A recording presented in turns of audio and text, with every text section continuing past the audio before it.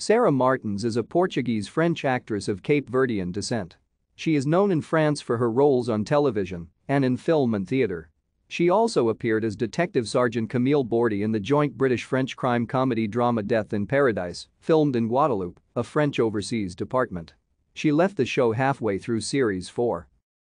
Martins was born in Faro, Portugal, and is of Cape Verdean descent. She moved to France at the age of three.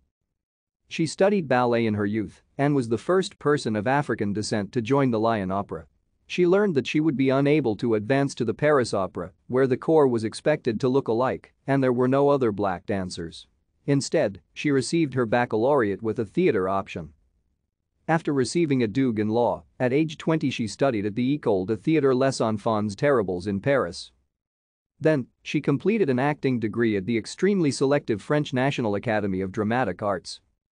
She learned English through U2 lyrics as a teenager Shortly after graduating from high school, Martins was hired by Roger Planchon for a local production of Le Radeau de la Méduse at the Théâtre National Populaire in Villeurbanne.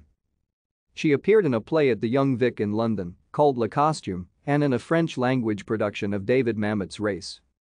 Martin's television debut was in 2001 in the French police series Police District.